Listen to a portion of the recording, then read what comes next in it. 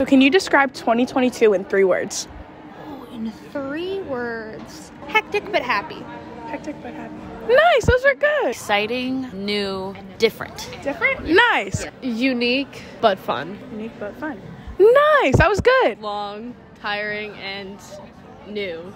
exciting, ambitious, and long. Long. I hope 2023 is short for you guys. Thank Can you describe your 2022 in three words? fun, long, cool.